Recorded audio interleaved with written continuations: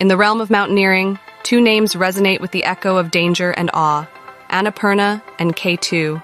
These colossal giants stand not only as geographical marvels, but as formidable gauntlets thrown down to those daring enough to tread their perilous paths. The journey begins with a battle against the elements. Climbers face the whims of unpredictable weather, where calm skies can swiftly turn into severe storms. The threat of rapid weather changes looms large, with navigation and survival hanging by a thread in the face of nature's fury. The slopes of Annapurna and K2 are not for the faint of heart. Steep and treacherous, they demand advanced climbing skills and utmost caution. Every handhold and foothold is a decision between life and death, as the risk of avalanches and falling ice adds a deadly unpredictability to the ascent. As climbers ascend, the air grows thin, and the struggle for oxygen becomes a grueling test of endurance.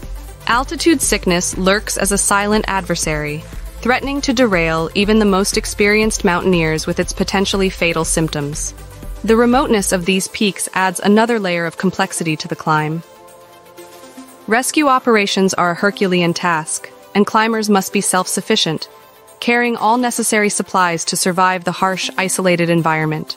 But perhaps the most daunting challenge lies within. The mental fortitude required to face isolation, harsh conditions, and constant danger is immense.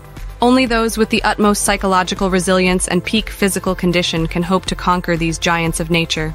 To climb Annapurna and K2 is to embark on a journey that transcends physical boundaries. It is a multifaceted test of human endurance, skill, and willpower.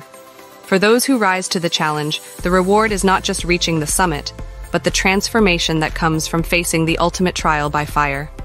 Join us again for another episode on 179 Seconds, where we explore the extraordinary feats and the indomitable human spirit.